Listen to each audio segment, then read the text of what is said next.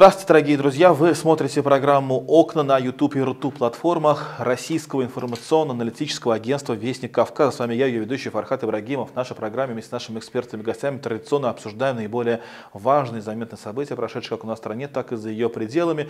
И сегодня мы поговорим о текущей ситуации на Ближнем Востоке с гостем нашей сегодняшней программы. С нами на прямой связи из Израиля общественный деятель, экс-руководитель израильской спецслужбы «Натив» Яков Кедми. Яков Иосифович, здравствуйте! Спасибо, что нашли время с нами сегодня поговорить. И и прежде чем э, передать вам слово, хотел бы от э, своего имени, от имени нашей программы выразить слова сочувствия, соболезнования. Сегодня годовщина. Мы записываем нашу программу 7 октября. Как известно, ровно год назад, 7 октября 2023 года, в Израиле произошел террористический акт, в результате которого погибло ни много ни мало 1200 человек. Э, много заложников. По сей день еще неизвестна судьба многих из них до сих пор так и является неизвестной. И вот как раз э, это история, это трагедия, которая в очередной раз обрушилась на израильское э, государство, ну, конечно, стала точка отсчета для очередного витка эскалации конфликта на Ближнем Востоке. И последние несколько дней, надо сказать, довольно очень напряженные. Мы с Яковом Иосифовичем неоднократно эту тему затрагивали, но сегодня ее обсуждение как никогда актуально. Яков Иосифович, еще раз здравствуйте. Здравствуйте, добрый день. И спасибо, спасибо за соболезнования это от чистого сердца, что называется, Яков Федорович. Вот вы знаете, мы а, и Россия, и Израиль, к сожалению, не понаслышке знают, что такое террористический акт. Мы в этом году тоже столкнулись с очень кровавой довольно трагедией в марте э, этого года, как известно, в Крокусе. И для нас э, то, что произошло в Израиле, тоже не является чем-то таким отдаленным, потому что, как известно, есть среди погибших и среди заложников граждане России, и э, других постсоветских государств, как известно, там, Белоруссии и так далее. Э, год прошел с момента э, этих трагических событий, с теракта, откровенно говоря. И я думаю, что ни у кого не посмеет, там, знаете, с совестью, там, знаете, немножечко, -то, хотя есть некоторые люди, которые совестью не очень, но, не пос, но скажут о том, что ну, то, что произошло, это теракт, вне всякого сомнения. И за тот, кто это совершил, должен ответить по всей строгости закона. Я об этом говорил с самого начала и продолжаю на этом настаивать. Яков Федорович, но ситуация какая сейчас? Ситуация довольно сложная. И, естественно, мы к вам обращаемся за помощью, потому что очень интересно ваше мнение насчет того, узнать, что сейчас происходит вокруг Ирана-израильской ситуации, потому что а, вы всегда говорили о том, что, ну, в принципе, война Ирана и Израиля, ну, да, не дай бог, чтобы это не произошло. Хотя, конечно, никто не сомневается в мощностях Израиля и так далее, но и Иран это тоже не слабое государство, как известно. Яковлевич, вот за последние несколько месяцев были ликвидированы важные, скажем так, лица ответственные, которые Израиль считал своими врагами. Ликвидирован Исмаил Хания, ликвидирован Хасан Насралла, лидер Хизбаллы, а, убиты еще многие разные полевые командиры Хизбаллы там, и, и Хамас, например, там Фуат Шукра и прочее, прочее. Что сейчас нам стоит ожидать на этом этапе? Израиль остановится, либо у него есть какой-то еще план действий, на ваш взгляд, опять-таки, как вы считаете? Ну, практически ликвидирована вся верхушка Хамаса. Остался только один Синвар, который прячется в норах и уже две недели не выходит ни с кем на связь. Он настолько напуган тем, что мы делали последние две недели, что он даже не общается с людьми только письменно. Они ему пишут, кто-то передает, и он ответ, дает им ответ, но уже две недели ни, ни, от него ни слова нет. То есть никто не знает, он жив или нет. По сообщениям, которые в Газе, он плотно окружил себя заложниками, на тот случай, чтобы Израиль не решился его ликвидировать, поскольку тогда пострадают заложники. Мы ликвидировали всю верхушку Хизбаллы. Всю. Поскольку это террористическая организация, как мы сказали, мы ликвидируем всех ответственных за тот террористический акт, и все ликвидированы. С Хизбаллой то же самое. Сегодня и не только Насралла ликвидирован, ни один из ведущих командиров и руководителей организации в живых не остался. Его, э, человек, которого наметили на его смену, был ликвидирован на этой неделе. Дальше, э, если вопрос идет об Иране, то mm-hmm. практически, как мы сказали, последняя атака Ирана – это объявление войны мы рассматриваем наши отношения с Ираном как война. И теперь Израиль готовит серьезный удар не столько и не только как ответный удар, а как э, практический шаг в войне, которую начал Иран, обстреляв нас э, около 200 ракетами. Это для нас уже не вопрос обмен любезностями, это вопрос ведения военных действий, это совершенно разные вещи. В отношении нашего предполагаемого удара по Ирану э, я хочу просто э, разъяснить, а какова ситуация? Послезавтра начальник генерального штаба летит в Соединенные Штаты. Начальник генерального штаба – это оперативное управление военными действиями. Вероятно, он, э, скорее всего, будет там согласовывать те некоторые моменты операции, которые мы хотим согласовать с американцами. Мы хотим согласовать по той простой причине, что любые наши действия против Ирана, они косвенно влияют на Соединенные Штаты, их положение э, на Ближнем Востоке и на их союзников. Поэтому мы пытаемся э, поставить американцам в известность, что мы будем делать. И, может быть, в каких-то моментах э, посчитаться с их мнением, хотя не, не, не во всем и не в основных вопросах. Соединенные Штаты уже заявили, что атака на Иран будет только израильскими силами. Американцы не участвуют в этой атаке на Иран. То есть Иран будет делать все, что он будет делать своими силами, своей армией. Все вопросы и споры и рассуждения зависят от э, того, как кто определяет, что Израиль будет делать. Я хочу объяснить, поскольку Иран находится э, на расстоянии более тысячи километров а до многих объектов, как военных, так и гражданских, это порядка даже двух тысяч километров. Основные удары, которые будет производить Израиль, он будет делать это с помощью авиации и ракет, э, э, скорее всего, наземного и морского базирования. Как на кораблях э, надводных, так и подводных лодок.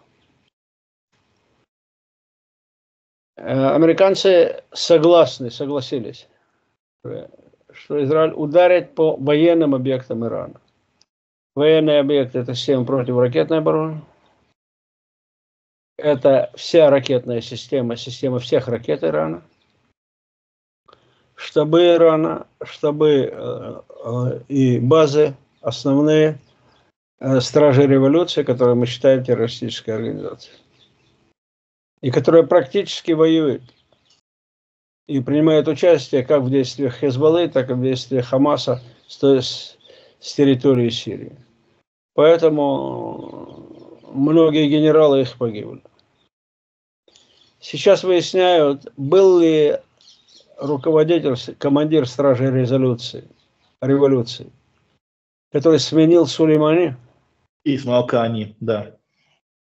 Был ли он в бункере, в котором был ликвидирован свер, свер, э, сменщик Насралы? Угу. По всем Психиатрия. данным он там был. Если он там был, оттуда никто выжить, выйти живым не мог.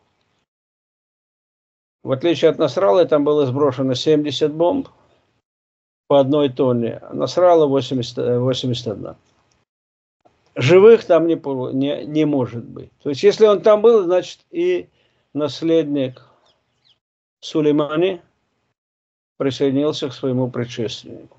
Это сильнейший удар по стражам революции. Но пока у нас доказательств нет, Иран молчит, как он всегда молчит в таких ситуациях, но от него никаких признаков жизни пока нет. Основной вопрос, который все задают – ударит ли Израиль по объектам, прежде всего подземным, производства ядерного оружия. Американцы опасаются этого, но вряд ли мы посчитаемся с их мнением. Мы ни раз и ни два не считались с мнением американцев. Я хочу напомнить из истории. В 1981 году Израиль уничтожил атомный реактор в Багдаде. который должен был производить оружейный плутоний для создания Ирака атомной бомбы. Американцы не хотели. И французы mm-hmm. не хотели. И все не хотели. Минахем Бегин, который был тогда главой правительства, он сказал, это моя обязанность между мои, перед моими детьми и внуками. Реактор был уничтожен. Американский президент Рейган взбесился. И в тот же день прекратил в качестве наказания, запретил поставки всех видов оружия, которые Израиль уже оплатил.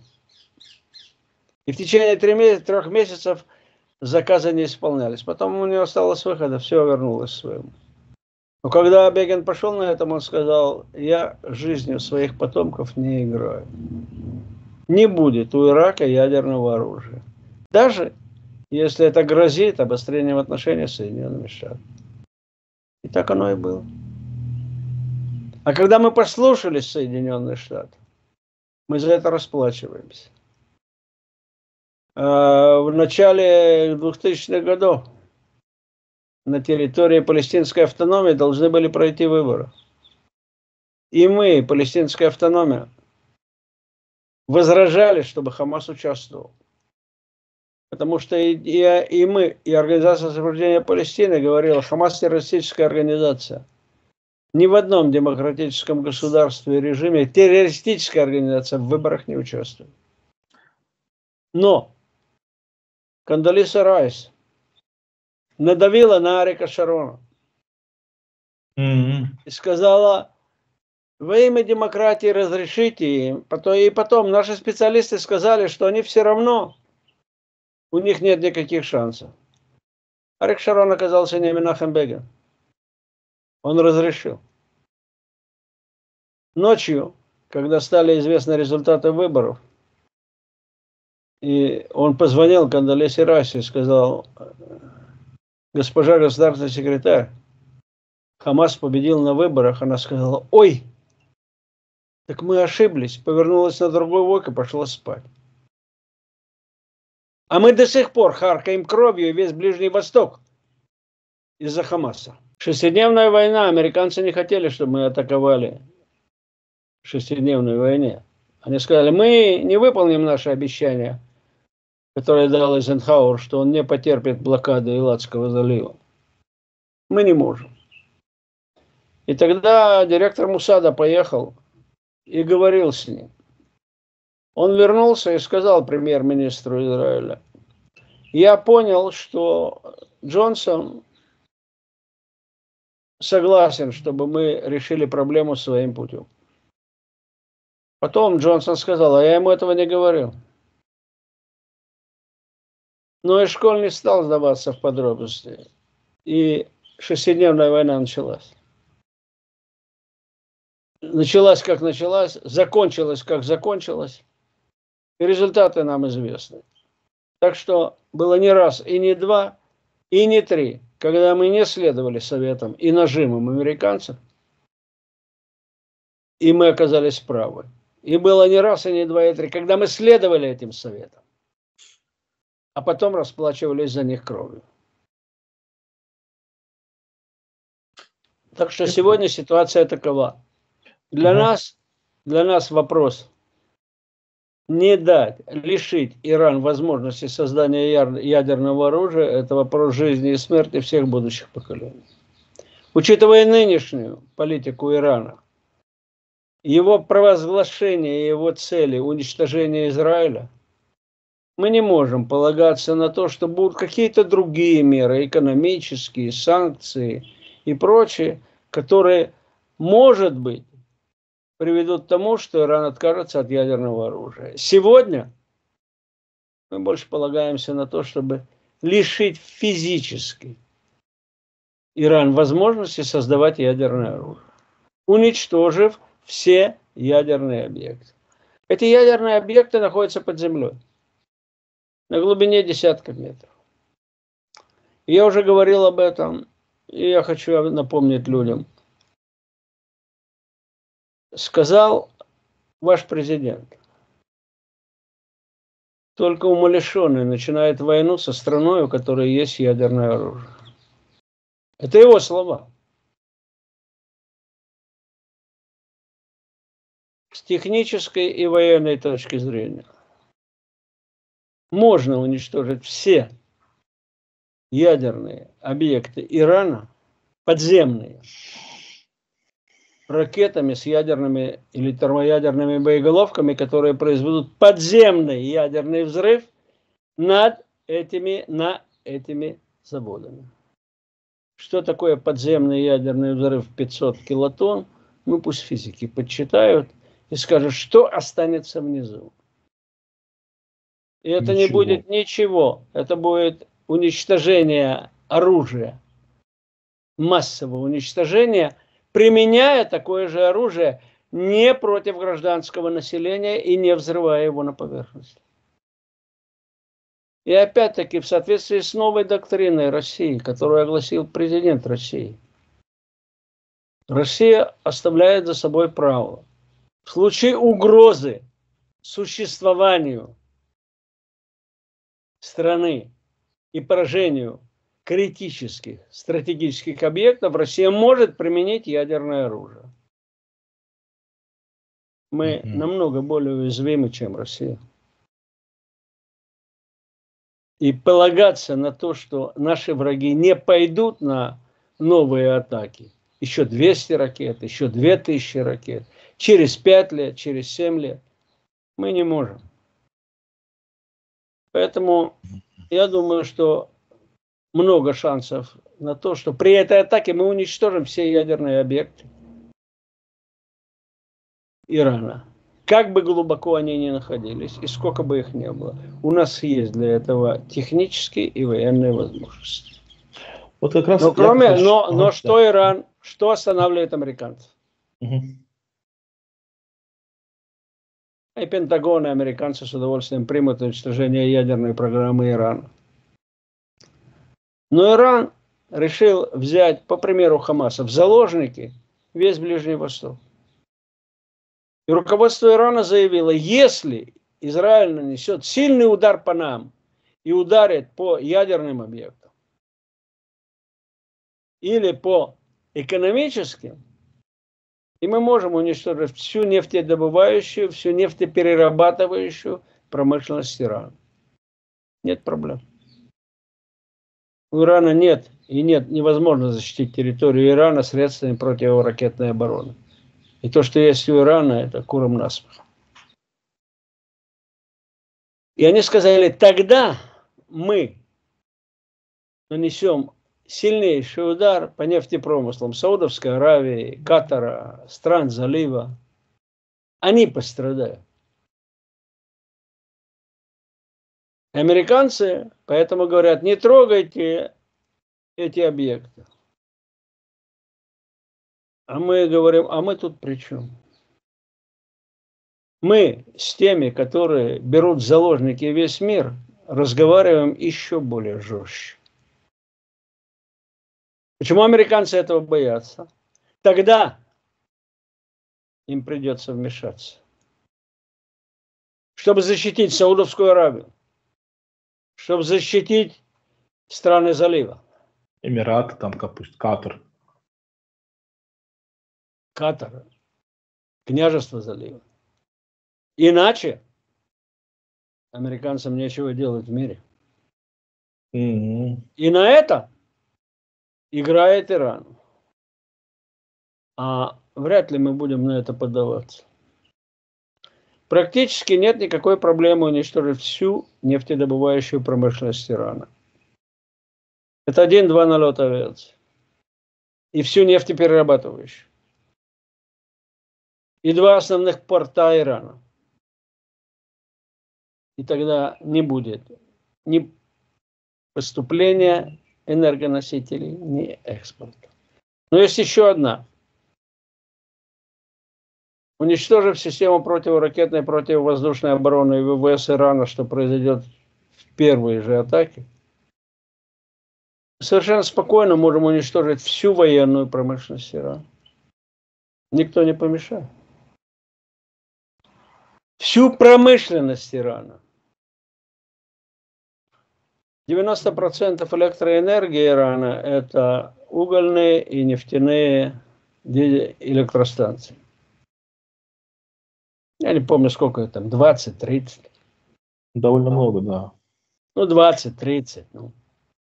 Пример. Не больше. В Соединенных Штатах, по-моему, 160. Это Соединенные Штаты. Ну, это налет двух эскадрилей. Иран обесточен. И никто это не сможет остановить. Иран без электричества возвращается в XI век. Что значит современная страна, когда, где нет электричества? Ну, это конец света. Очевидно. Это не конец света, это конец ну, иранского государства. Ну, я имею в виду конец света для страны, которой нет света, это ужасно. И нас ничего не остановит, если Иран не остановится. Мы же не а атаковали ш... Иран.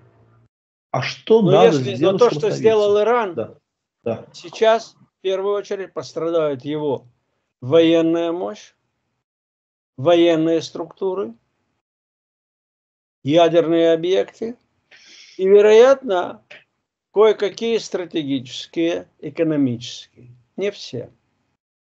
Но если Иран вздумает еще раз продолжать, тогда Аллах ему в помощь. Яков Ильич, а вот вопрос такой получается. То есть вы хотите сказать, что если бы Иран бы не пустил бы вот эти 200 или какие-нибудь вообще 500, ну окей, 200 ракет не пустили бы они по Израилю, а Израиль бы сейчас бы не стал бы всю эту операцию задумывать? Нет. Если бы Хезбалла в течение года каждый день не обстреливала бы Израиль от 40 до, до, до 100 ракетами, ничего бы не было. Мы им все время говорили, давайте прекратите, давайте договариваться. Нет. Ну, какой-то бред выпустил, откровенную ложь министр иностранных дел Ливана. Да, это, это ложь для, для умственно отсталых детей. То есть это неправда? Вы считаете, что Насрала так Абсолютная не хотел ложь. За два дня до этого с ним переговаривались. Он сказал, нет, ни за что. Целый год он каждый день отказывался. И вдруг вспомнил министр иностранных дел Ливана, да, он мне прошептал ночью, перед смертью, а я хочу. Задним говорят, числом да? они хотят переписать историю. У него было 360 дней прекратить обстрелы.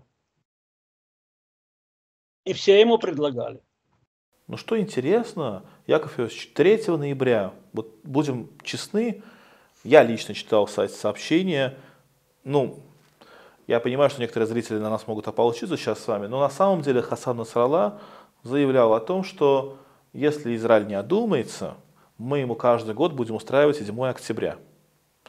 На что, э, надо сказать, э, тут надо дать должное логике и последовательности израильской стороны, которая заявляла о том, что ну, если вы не прекратите эти разговоры, вам будет очень плохо, не вмешивайтесь. Это наше противостояние с Хамасом, вы не вмешивайтесь. То есть, потому что по-настоящему, ну, как бы, если верить сводкам э, израильской спецслужбы, официальным открытым данным, ну, конкретно в трагедии 7 октября Хезбалла не участвовала. Но Хезбалла подхватила такой хайп, как это сейчас модно говорить у молодежи, ну, заодно как бы присоединиться вот к этой всей истории, к этому тренду. И постоянно начала обстреливать э, э, северные границы Израиля. На что израильское руководство, надо отдать ему тоже должное в его логике и последовательности, сказало о том, что, ну вот, собственно говоря, будете продолжать себя вести таким же образом, получите ответ. И спустя, получается, несколько месяцев, ну почти что год, ответ был дан. И как бы здесь э, есть логика у э, израильской стороны. Ну, кто выступает против Израиля, как обычно, у нас есть разные мнения на этот счет. Но, Яков Иосифович, интересный момент. В августе месяце, мы с вами тоже это обсуждали, в Иране и Хезбалла, и Хусита присутствовали на слете этих, как их называют, э, прокси, значит, сторонников Ирана. И иранцы дали четко понять Хазбале и людям Насралы. Это об этом пишет и кувейтское издание, и Нью-Йорк Таймс, о том, что не э, провоцируйте израильскую сторону, перестаньте их обстреливать, не давайте им руки как бы больше возможностей да, для маневра. На что Хезбалла назвала иранцев трусами и, собственно говоря, э, э, слабаками. Что вот вы не можете нас защитить. Если вы этого не сделаете, мы сами будем с Израилем разбираться. И после этого, как бы якобы, Иран решил ну, войти в эту игру, чтобы сохранить свое лицо. Вы что думаете по этому поводу? Во-первых, в августе ситуация была такая. Иран не предлагал и не просил Хезболлы прекратить обстреливать. Они сказали, не усиливайте обстрелы, не обстреливайте центр Израиля, потому что это приведет к сильнейшей реакции. Вот а так, нам да, нужна да. Хезболла как стратегический инструмент против Израиля на случай войны с Ираном. А мы сегодня к войне не готовы. Но сложилась ситуация, проходит год, 100 тысяч жителей Израиля не могут до сих пор вернуться в свои дома. Весь север опустил. И мы сказали, больше мы терпеть этого не будем. Люди вернутся в свои дома. И мы заставим Хизбаллу прекратить огонь. Но что сейчас оказалось? Когда мы начали наземную операцию, мы сейчас вошли в штабы Хизбаллы вдоль израильской границы. И тут мы получили шок. Мы обнаружили и карты, и планы, и оружие. Во-первых, оружие в десятки раз больше, чем мы предполагали. Подземные туннели, которые шли в Израиль, вели в Израиль в кибуцы на границе. Оперативные планы, которые в точности повторяли планы атаки Хамаса на юге. Хизбалла к этому была готова. Мы к этому не были готовы. И сейчас мы обнаружили, что это было. И Иран и Хизбалла очень были злы на Хамас. Эти две атаки должны были быть одновременно. Хамас сделал их сам. Не синхронно и не договорившись с ними и спутал им все карты. Но для нас получить на севере то же самое, что было на юге, теперь мы уже на это, мы уже битые. И поэтому то, что мы сейчас делаем, мы уничтожаем все эти подземные тоннели, все склады и все те подразделения, которые не убежали. Чтобы больше никогда не повторилась та трагедия, которая была год назад на границе с Газом. По нашей глупости, когда мы посчитали, что Хамас не будет атакован. У нас же с ними соглашение. Вот это мы, об этом речь. Это мы заставили Катар давать им деньги, считая, что из-за этого они будут заниматься экономикой и развитием населения. Ну вот, это правда, так и был разговор весь. А второй раз, мы не любим наступать дважды на те же грабли. Mm. Есть те, которые любят, а вот мы нет. У нас слишком мало зубов осталось за последние три тысячи лет от наступ... того, что мы наступали на те же грабли. Поэтому ситуация сегодня с точки зрения Хамаса, с точки зрения Хизбаллы и Ирана. Сегодня Хизбалла примерно в 3-4 раза слабее, чем она была до нашей атаки. Угу. Уничтожено все политическое военное руководство. Нет практически связи между подразделениями Хамаса. А как они будут связываться? Но Иран сегодня оказался в совершенно другой ситуации. Угу. После нашей атаки на Хизбаллу весь гнев шиитов и сторонников Хизбаллы и Хизбаллы вылился на Иран. Это правда. Они сказали, вы нас направили против Израиля. Вы нас вооружили. Мы воюем. А что вы делаете? Нас, израильтяне, вгоняют в могилу. Убивают каждый день. Ликвидируют Хизбаллу. А где Иран? И поэтому у Ирана оказалось нет возможности выдержать это, иначе он терял свой авторитет в мире. Его же прокси мы уничтожаем. мы ликвидировали, мы ликвидировали всю военную организацию в Газе Хамаса. Хамаса как организации нет. Да, есть тут и там товарищи с автоматом могут вылезти из норы и дать две очереди. или еще оставшиеся где-то ракеты под землей из-под какой-то школы, которая была, могут выпустить. Но организации нет, структуры нет, командования нет, управления нет, власти нет. На земле Хамаса нет. Вылезут из норы и обратно. Это не власть. Хам... Хам... Хизбалла, они покинули юг Ливана. Потому что мы их предупредили. Причем точечно. Мы сказали, у нас есть, мы знаем в каком доме, в какой арабской деревне шиитов находятся ракетные базы и посты Хизбаллы. Мы предлагаем всем жителям этих домов, в которых расположилась Хизбалла, мы эти дома уничтожим. Хотите жить, уйдите. Куда это не наше дело? И они ушли. И вдруг шиитское население, которым прикрывается Хизбалла, стало нести потери. Мы уничтожаем эти дома. Потому что в каждом доме, который мы уничтожаем, под крышей или ракетная площадка, или артиллерийская, или минометная. Мало того, мы объявили в, Га, в, в Дахи, шиитский район Бейрута.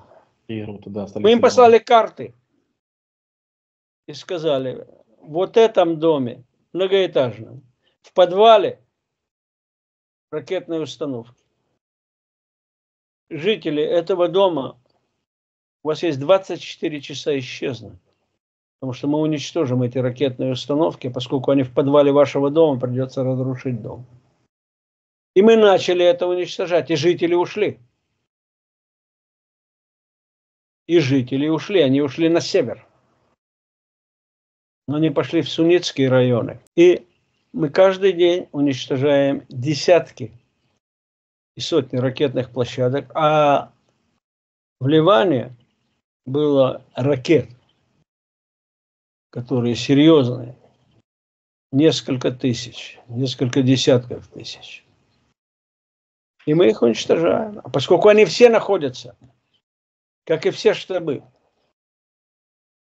под жилыми домами, в жилых кварталах, мы говорим жителям, так же, как мы сказали в Газе, хотите жить, уйдите, потому что все, что есть под вашими домами, мы уничтожим. Угу. Яков Иосифович, вот не могу не задать вам вопрос касательно следующей темы. А, очень интересно ваше мнение вот по какому поводу. Президент Франции Эммануэль Макрон, хоть и созвонился сегодня с премьером Израиля Беньямином Нетаньяху и выразил слова, и выразил слова соболезнования, а тем не менее накануне заявил о том, что необходимо прекратить всякие поставки оружия Израилю. Это будет приоритетом на пути к политическому урегулированию конфликта. Также, по словам э, Макрона, политика израильского премьера Нетаньяху представляет собой ошибку, в том числе и для безопасности самого Израиля. И также э, заметил, что прокомментировав операцию в Лива... Э, Израиля в Ливане, что ливанский народ не должен быть принесен в жертву, и Ливан не должен стать новой газой. Нетаньяху, в свою очередь, заявил, что слова Макрона – это позор, вот, и отметил, что Иран не прекращает снабжать оружием хуситов, Хамас и других своих марионеток. А, Яковлевич, вообще почему Макрон так яростно защищает антиизраильскую позицию. Почему французский лидер решил вот так разговаривать с Израилем? Ну, умственные способности Макрона и его знакомство с историей оставляют желать лучшего. А почему он занял антироссийскую позицию? Франция, чтобы заняла антироссийскую позицию, до чего должен был докатиться президент Франции?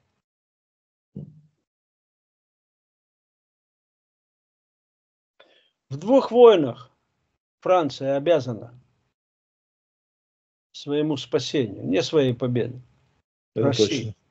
России. Точно. Первой мировой войны и Второй мировой войны. А сейчас его генералы кричат об угрозе России. Потому что надо готовиться к войне с Россией. И посылать своих легионеров. Это Франция. Да, это Франция. Макрон не совсем понимает, что он говорит. Когда его спросили, в том числе французские военные и французская военная промышленность, что значит прекратить военные поставки Израилю? Он сказал, да нет, я имел в виду, чтобы Соединенные Штаты прекратили, не Франция. Это Макрон. Это Франция. Я не хочу, я не хочу сравнивать Макрона с представительницами определенной профессии. Но он себя ведет так. У него слишком слабая нравственная система. А потом, я хочу напомнить из истории, был намного более серьезный президент Франции.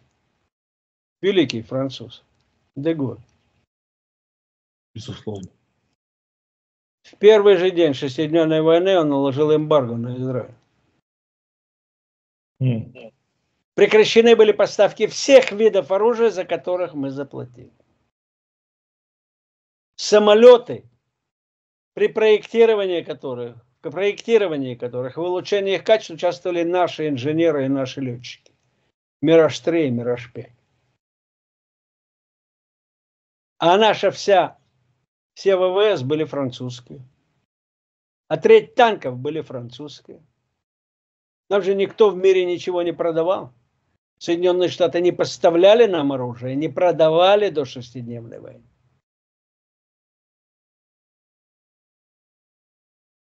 И мы сказали, ну и хорошо. Великий Деголь объявил на нас эмбарго. У нас есть что положить на это эмбарго.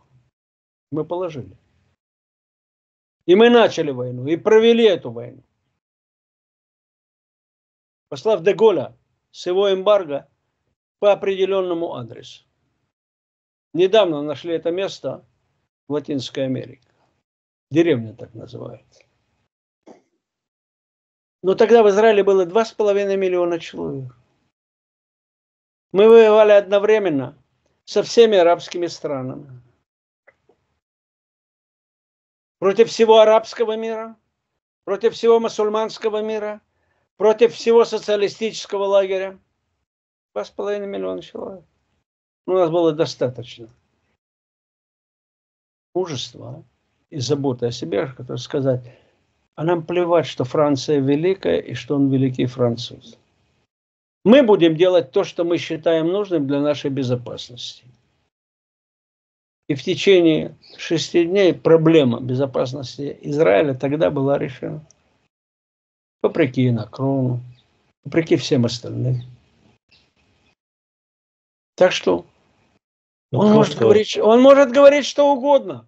Просто это же сегодня, все-таки Франция. Это сегодня, сегодня да. мы намного сильнее. У нас 10 миллионов. У нас отличная армия. Намного лучше вооружена. У нас отличная экономика. Мы можем абсолютно не считаться с мнением очередного или внеочередного человека, который сидит на кресле президента Франции. Мы с более серьезными французами не считались. И то же самое я могу сказать насчет Соединенных Штатов.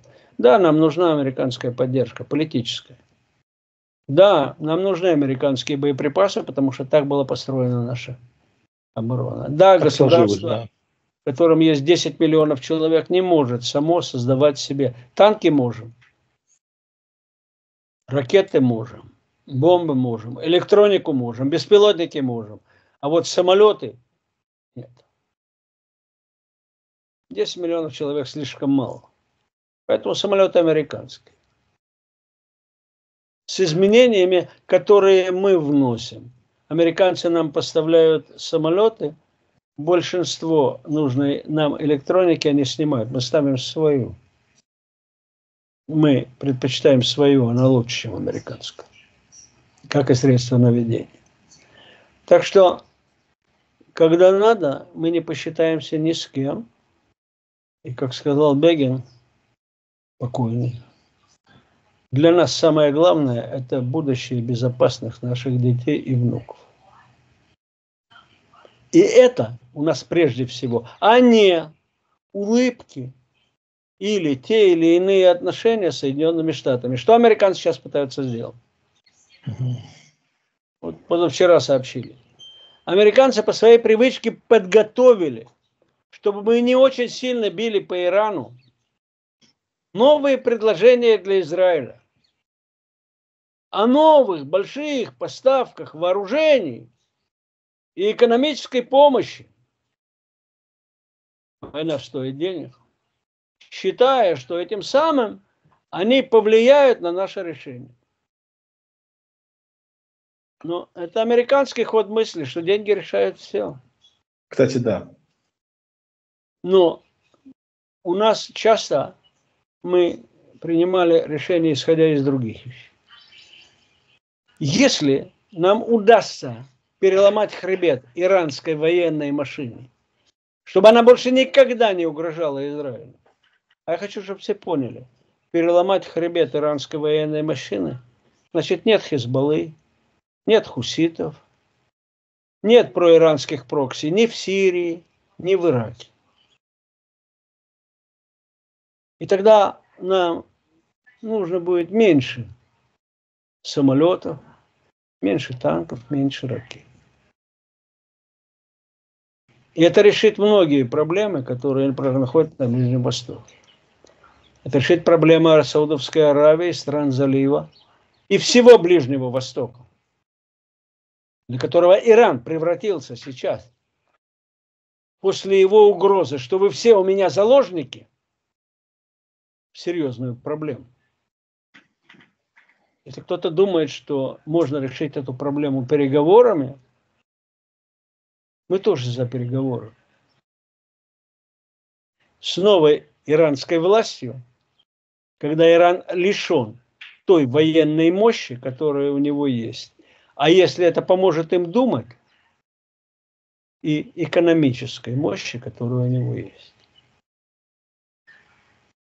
Тогда ведите с ними переговоры. Яковлевич, а, подытоживая, получается так, значит, просто для наших зрителей разъясняю а, а, вашу позицию. Если сейчас Израиль нанесет удары по иранской территории, предположительно по ядерным объектам, по военным объектам, дозированно нанесет удары. Если как бы Иран промолчит, то войны не будет. Правильно ли я понимаю? Большой войны. Если он не ответит, да. Ну, хорошо. Скажите, распрощайтесь с вашим проектом ядерным военным. Угу. Распрощайтесь с вашими ракетами, которые вы приготовили для удара по Израилю, по всему Ближнему Востоку. Живите на здоровье. Но если они дернутся, они распрощаются со своей экономикой. И может быть, Иран будет обесточен. Да, ситуация очень напряженная в любом случае. Посмотрим. Если они считают, если они нам угрожают тем же самым, если они говорят, а в Израиле всего 2-3 электростанции, давайте их уничтожим. Ну, попробуйте. Но мы не будем ждать, пока у вас будет возможность это сделать. А раз у нас есть возможность это сделать с вами, мы сделаем сегодня, не дожидаясь, пока вы наберете силу. Это наше право. То есть вы уверены, что все-таки Иран хочет уничтожить Израиль? Что Иран хочет? Уничтожить Израиль. Это, это, это заявляет каждый раз все руководство Ирана. Израиль не имеет права на существование. Израиль должен быть уничтожен. Это сионистская да. порождение не да. должно существовать. Это говорит Иран, это говорит Хизбалла. Некрасивые слова. Это говорит Хамас. Это, правда. это говорят ну, а если... А, а если одно дело слова, а другое дело ну, реальные дела, так не работает? Ну вот пусть они говорят себе слова, говорят. Пока да. это были слова, да. Но когда мы получаем то, что мы получили от Хамаса mm. год назад, это уже не слова. Когда Хизбалла обстреливает нас, Хизбалла это ливанская организация. У нас нет проблем с Ливаном. У нас нет территориальных споров с Ливаном. Никто никогда в Израиле не претендовал ни на один миллиметр ливанской земли. И тем более с Ираном, Яков Иосифович. С Ираном вообще у нас никогда ничего не было. Всегда были отличные отношения. Правда. Мы 18 лет находились в Южном Ливане, израильская армия. После Первой Ливанской войны, войны да. пришлось выбросить оттуда Арафата и его организацию, палестинцев, к радости всех ливанцев. Угу. И за эти 18 лет мы даже не пытались не основать ни одного поселения. Вообще никто в Израиле не говорил, что давайте присоединим это. Нет. Вы сказали жителям Ливана, вот, это ваша земля, охраняйте себя сами. Хотите, мы вам дадим оружие. И тогда в армии Южного Ливана 75% военнослужащих, солдат и офицеров были шииты. И только 25% были христиане. Из деревень, которые там жили. Угу. Они защищали себя от нападения палестинцев. Да. Гражданская эта война в Ливане началась с чего? С боев между палестинцами Арафата и ливанскими христианами. Потом уже присоединились все остальные. То есть у нас нет с Ливаном проблем. А Хизбалла была создана Ираном только с одной целью – против Израиля. В 82 году, да. Передовым пунктом, с которого можно обстреливать ракетами тыл Израиля, для Ирана это слишком далеко. Сегодня возможность Ирана сделать этого намного меньше и уменьшается с каждым днем. С каждым нашим новым ударом. Каждый удар идет по ракетам и по военным объектам, по военным пунктам Хизбаллы. То, что они как международное преступление размещают свои военные объекты, свое оружие в жилых домах, закрывая, прикрываясь гражданским населением, это преступление, международное преступление. Запрещается размещать военные объекты в жилых домах, в больницах, в школах, в мечетях. Запрещается прикрываться гражданским населением. Они это делают. А потом требуют от нас, да, не уничтожайте их ракеты, потому что они под жилым домом. Извините. Ракеты мы будем уничтожать, даже если они под, под детским садом. Уберите оттуда детей. Вот кто разместил ракету под ракетные площадки под мечетью, он преступник. Под школой он преступник. Под жилым домом он преступник. То, что у жителей дома не хватило сил сопротивляться Хизбалле, которая держит ливанское правительство за горло, это другой вопрос. Ситуация очень напряженная, Яков Иосифович, надо сказать. И, конечно, а, подытоживая, конечно, хотелось бы, а, чтобы все благоразумилось. Все-таки мы не хотим большой войны на Ближнем Востоке. Мы прекрасно понимаем, чем все это может обернуться. А, мы не знаем, какой может быть реакция Ирана. То есть, вы знаете, я, например, для себя вывел такую формулу, что в этой войне, наверное, скорее победит более мудрейший. А еврейский народ, как и персидский, это очень древние народы. Это очень древние цивилизации, имеющие своими спинами очень древнюю глубокую историю и пережившие на своем пути очень много трагедий и очень много чего самого разного. И, конечно, очень горько наблюдать за тем, что народы, очень богатые своими традициями, своей историей, вот дошли до того, что они, во всяком случае, не дай бог, но могут скоро воевать. И мы все же будем, в свою очередь, надеяться на то, что Израиль и Иран найдут в себе силы остановиться.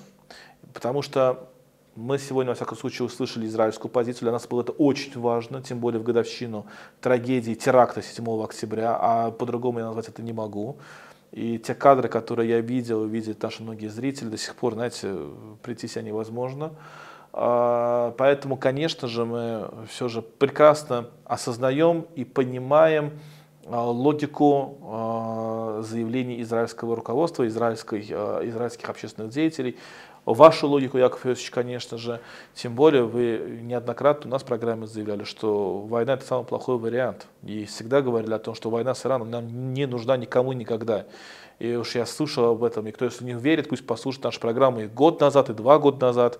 Никогда никто не говорил про то, что война это, с, с Ираном это хорошо. Все говорили, что не нужно этого. Все знают возможности Израиля, но до войны, до войны никто не хотел.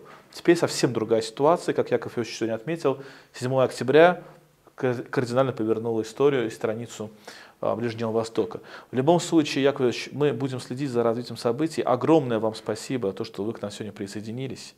Спасибо, что нашли время с нами сегодня поговорить. Я напоминаю нашим слушателям и зрителям, сегодня был в гостях общественный деятель, экс-руководитель израильской спецслужбы НАТИФ Яков Кедми. Подписывайтесь, телеграм-канал Ибрагимов, телеграм-канал Вестник Кавказа, Вестник Кавказа на YouTube, Рутуб, платформах и ВК-видео. Всего доброго.